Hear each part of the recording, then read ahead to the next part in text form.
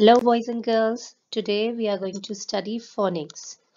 It's on pupils book page 65 the exercise 1 listen read and say.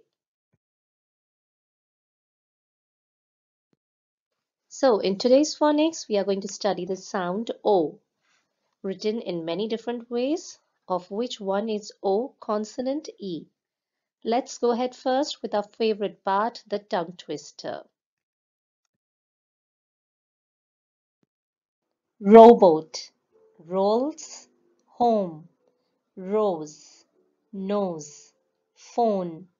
The robot rolls home with a rose and hits its nose on a phone. Now a bit faster. The robot rolls home with a rose and hits its nose on a phone.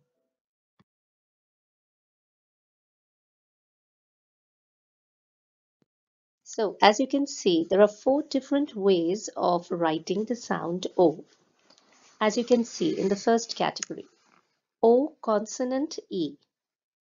There are a couple of words that can be written in this way. For example, rose, home, nose, phone, bone. I know there are many more words that you can think of.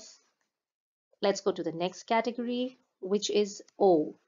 Again, makes the sound O with the alphabet O. Robot, roll, no, okay, old. The third category, OW, also makes the sound O. Snowman, rainbow, window, show, slow. And the last category, OA, again makes the sound O. Goat, coat, boat, goal, soap. I'm missing the class right now because I know you have a lot more words that you can add to these categories. Now let's get to work. Open your activity books, page number 62, exercise 1 and practice all the words that we learned right now with O sound. All the best. Bye-bye.